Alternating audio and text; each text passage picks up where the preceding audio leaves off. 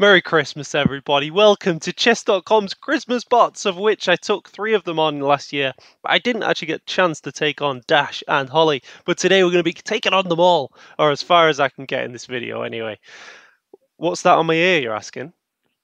No, it's not a decoration I've taken off the Christmas tree. It's my new earring. God. All right. Last year I wore a Santa hat to get in the festive spirit. I got to do something to differentiate, guys. I know. I know it's silly. Right, Powder, 700 rated bot. Let's take him seriously. He was the youngest member of the North Pole Chess Club. He stayed in the sun for too long and lost some rating points. Beat him before he melts. So I've got a dedicated video on these first three bots, but today we're going to do a speed run of all five Christmas bots, hopefully. Uh, let's get into this challenge match. So, against the 700 bot, let's just put some pawns in the center. I'm not doing any theory. And Good just keep, maybe get this structure here, kick the bishop back. Why not kick it again, guys? Normally, if you can keep taking space with a tempo, it's okay. You got to be a bit careful pushing pawns in front of your king because it does open up this diagonal. So I, I did check that before I pushed this pawn. But Powder has already hung a piece. So we're going to take that and just keep developing just because we're... uh, just because we're a piece, we don't need to do anything mental. We can just keep developing. Powder disrespecting me here with the old king move. Let's line up with that king. And, I mean, let's line up with this queen as well. I mean, look at these bishops, man. So nice. Uh, I guess develop the knight. Maybe he's going to chip away at the center. I mean, castles. Look at this. Rook lining up with the their king now. And surely we have some. this, sorry guys, yeah, this. Oh, it just gets better and better, doesn't it? So not only are we smashing open the rook towards their king, but we're doing it with an initiative on their bishop. I mean, okay.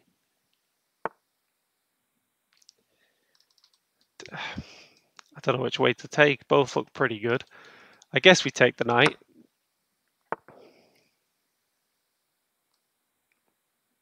And just, I mean, we can deal with this issue. But bishop, king, we always try and danger level. So our bishop's under attack so we can attack a higher value piece, which is their king. Uh, and it was also a double attack on the queen The Cheeky little move um, and because the bishop supports the pawn, king cannot just take the pawn. The, so that's is that checkmate? what? That's the weirdest checkmate. Yeah, because they've not even developed properly. I just sort of assumed Rook would take there, but because their development was so bad, that's just just checkmate. So uh, I did I did three blunders apparently. I don't, I don't know where I'd find the time to, to blunder in between taking all his pieces. But yeah, I've not been playing the best recently, guys. Uh, so we're playing Eve now. We're going up a notch. She's 900 rated. Uh, what's her spiel? I, I just want to just want to quickly. Uh, wait. Can I resign this and see her spiel? She's been training some new openings. She's lost some rating points, so she's underrated potentially. Can you get her an advantage? So she plays offbeat openings. Okay. Challenge match. Eve, 900. Again, another one of these Christmas bots playing a random move on the edge of the board. Again, we just take the center and should be happy. Just get some nice developing moves. I don't see anything too crazy so far, so I'm just going to keep getting my pieces out. And this is my sort of default setup with the bishops like this. And this is engine approved in quite a lot of lines. Uh, the bishop here and here tends to be fairly uh, flexible. I know I know you go for the setup when they when they go for a fianchetto here with the bishop. And it, I've seen this this idea by the engine uh, in a lot of different openings. So I'm sort of wanting to move the knight to open up this diagonal. Uh, she's really weakened this diagonal, which I mentioned in the first game. got to be careful when you push these two pawns here. I mean, can I even sack the knight? Is it check? King just moves. So let's just let's just go back with the knight. And again, what is up with these Christmas bots? The king is just is coming. He's coming. Uh, I, d- I mean, check. What does he even do here? If check, doesn't he have to go here? and then this? Or just this now attacking the knight? Oh, I guess he has this square as well. But let's hit the knight first.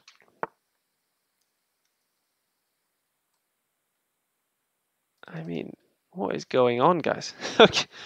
Uh, so we can just throw in this developing move for free. Bishop is technically developed, but I think it's even better on this square. Or we can take this, hitting the queen, but king is more important than queen, so we can throw this one in first, then do this. And I mean, we are up a piece, so we, we could just trade. Uh, that is just a queen, though, isn't it? Um, sort of confuses me, guys, when they play like this weird. Yes, we take the queen, I guess. How's the earring looking? It's not. Yeah, it's still looking good. It's glistening, glistening in the light there. And we're up so much material. Oh, stabbing into my neck. It's pretty sharp, this thing. I mean, I see this weakness. Let's target that. Or this.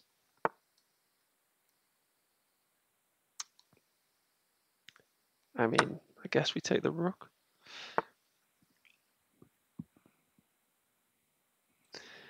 And recover the old knight. And now this is just an exercise in uh, gobbling. But yeah, let's try let's try get a nice checkmate though. So this and maybe this, opening up their king. Still that. Put a rook opposite their king. And now let's try and smash it open.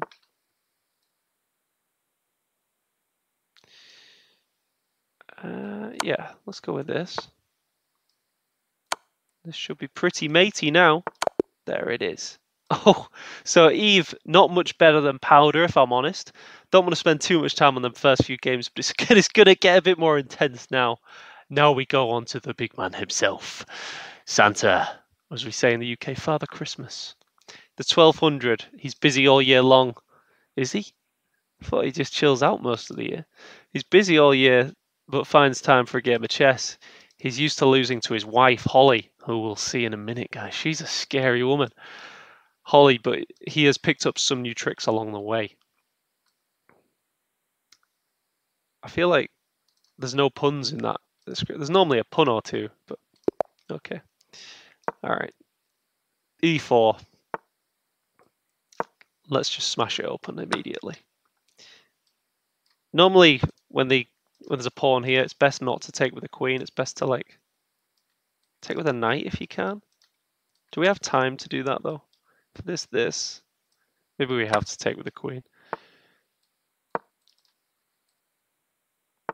So I'm playing some openings I never normally play, by the way, guys, because I don't want to beat these bots just because I know like a little bit of theory in some lines you know, I want to just give you good good tips how to beat him, even if you don't know any openings whatsoever.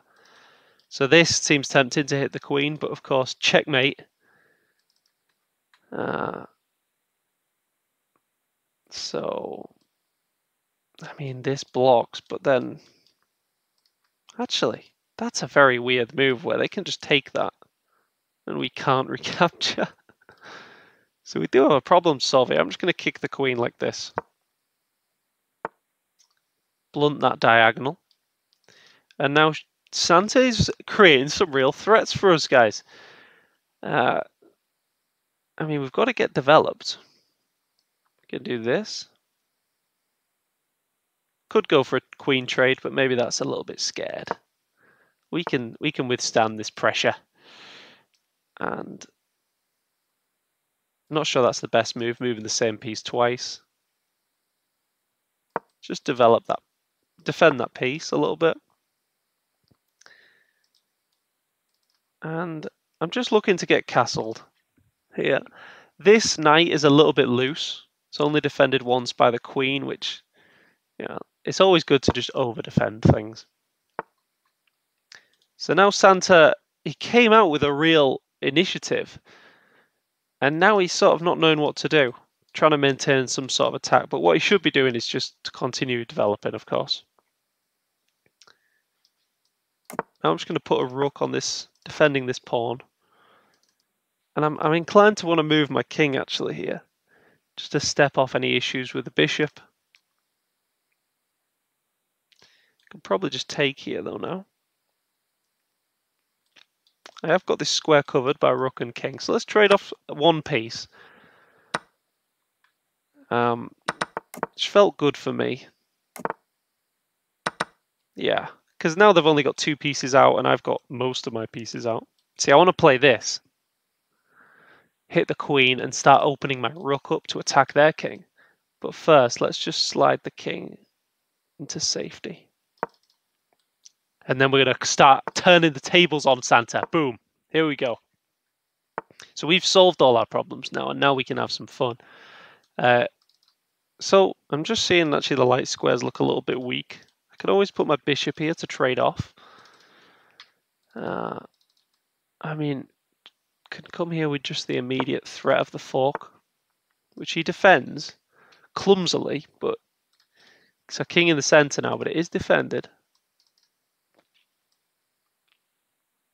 Mean, I have this move. I feel like I want to keep moving with with tempo. I can play this defended by the knight. And I, yeah, I just feel like, look at this now. Just keep on pushing. I have a space advantage. I have a development advantage. So I don't want to give him chance to, uh, you know, open up his pieces and develop. I want to punish him early. So I can move here X-ray and the rook. See, a move like this might be tempting, but all it does is allow him to develop. So I don't want to do that. I want to keep as much tension as possible. Uh, queen could be better, couldn't it? I'm going to go with this move. It's my first instinct. Line up with the rook. I mean, now surely this is good. Take the rook now. So a little revealed attack on the old rook there. And I think now we have Santa under control. Oh, and yeah, so that's probably a bad move. See, he's just stepped into this alignment issue with the bishop. And this has got to favour me to just crunch the centre open uh, and attack the uncastled king, surely. Even though we're up material, it's just going to be even better if we're attacking him as well. Let's just open it up, I think. I mean, this lodge in. Where does the knight go? Maybe. Hmm. If we take, it feels like maybe we're opening up some counterplay for them to You know, they've got this open file. Well, the queen cannot get to this square because of the amazing bishop here. If we push, and they go here, push again, they go here. I'm going to lodge it in. I want to. I want to see what happens. Ah, so yeah, Santa's just hung a piece. It's just hanging the old knight there. And now I see this alignment issue uh, with the queen and king. So we'd love to get a bishop to this square. And this just comes, the more you play, guys, you just sort of see these whenever the king and queen are lined up a bit weirdly. Uh, so how can we support this square? Like this is a bit obvious versus a human. but against the bot, I don't know if they think like that. So maybe this. I guess they've always got pawn up though, haven't they? Yeah, so it's not a real threat. So in that case, let's just keep developing. Lift the queen, connect. And let's force trades, guys. We're up a lot of material here. Uh, I mean, this, the rook. Okay, we're just going to take, and we can even just come in like this now. Can we just take this? Pawn takes. You know what, we're up nine points of material, guys. Let's just simplify as much material as we can. And in that spirit, let's just force a trade of the queens. No stalemates though, guys. I know I've got a bad habit of stalemating.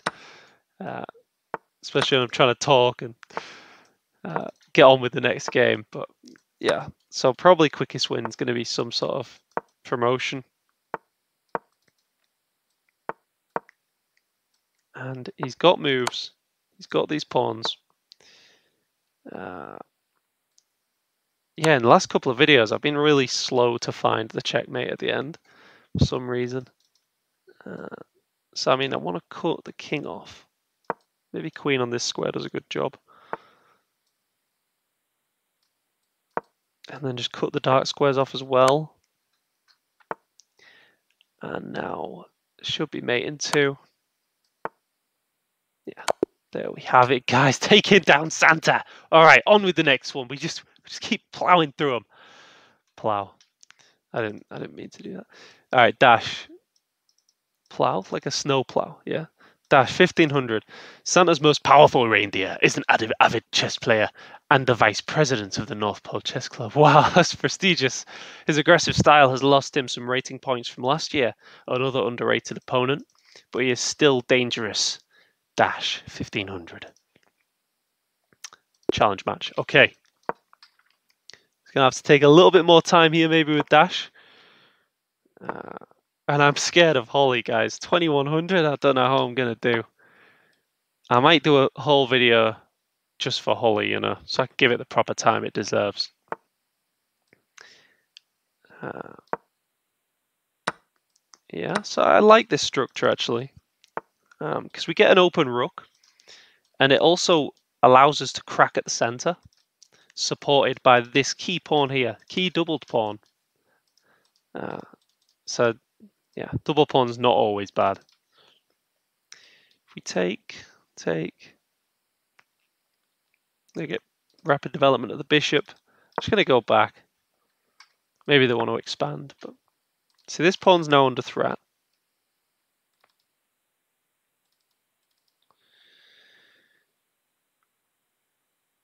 Yeah, I guess this then. It's not. It's a bit clumsy developing with the defending with the queen, but castle. I want to kick this. Let's just keep developing first. They can't, they can't come out with the queen. I've got that covered. And now their their knight only has one square to retreat to. So it feels like I can maybe try and punish this knight. You know, my queen's lined up with it. I can maybe try trap it. If I could just get a bit more control of this square. Or get my queen here. Takes. So thinking if I line up with this pawn, so this pawn's pinned, then the knight can't come back here as easily as rook takes. I don't know. It's probably too many moves. Let's just kick it. Can't see a way of making it work. But uh, I mean, can I crack at the center now? Thing is, they've always got this move to undermine the knight, which holds this pawn. So I'm just going to continue to try and find improving moves, like just doubling the rooks on the open line. This, this, this. Is that good for me? I mean, I feel like this knight is just going to be a target anyway, so I'm going to trade it off. Oh, and that's that's a bit of a concession now. Okay, so we obviously take and damage the pawn structure there. So dash a 1500, just not recapturing a piece. That's okay. okay, chess.com. see, I think in the in chess.com's marketing team, they're like, oh yes, we're gonna encourage new players to the game of chess and increase our revenues by making all these bots really bad so people feel good about themselves. But I just think it's a bit of an insult to a 1500 to just, you know what I mean, not recapturing a piece. All right, we got a fork now. Take and trade off pieces. We are up material. Uh, I guess take here. Kick the knight back. And add some pressure here. Okay, so he's defending this square. Okay, dash. so you defend the backward pawn, but you you don't recapture a piece when I give you one. Uh, all right, activate the queen. Uh, their queen sort of targeting this pawn. So I can, I wanted to go into the dark squares anyway. Well, maybe I could come in. See, the thing is, if I drop this pawn, it's a bit awkward because the rook's pinned to the king and, you know, so I'm just going to defend this pawn.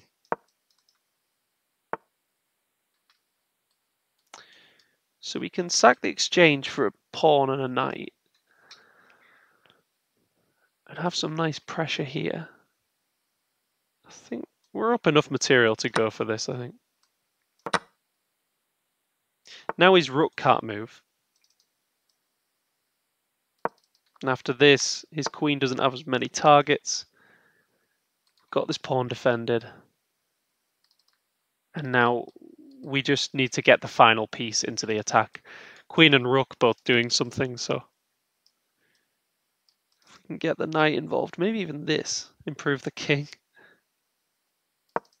And just defend this pawn forever. So now, now I can just casually bring the knight.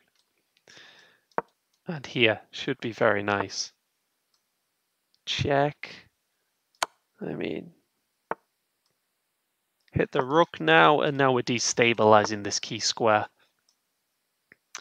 So taking the rook, trying to get in on this square. And now he, Dash just, yeah, doesn't have any moves here. Because I've, I've just got too much pressure. You know, after this, he's got no more checks. Uh, so I need to find a way to win this. Um, just gonna shuffle, maybe. Okay, I'll trade. Target the weak backwards pawns, and we're gonna try and promote one of these pawns. No stalemates though, guys. Okay, we're pushing. Still no stalemate. They've got that pawn on g5. And king here, cut him off. Okay, cut him off further. And there should be a checkmate here. There we have it, guys. That's how you take down Dash. You know what? If I play the final bot now, I think I'll rush it a little bit because I'm aware of how long the video is getting. But that's how you beat most of the Christmas bots. I hope you enjoyed. Have a good Christmas, guys, and make sure you catch the game versus the 2100, the the uh, the Queen of Christmas, Holly, Mrs. Claus. Yeah, see you then, guys. Cheers. Like and subscribe.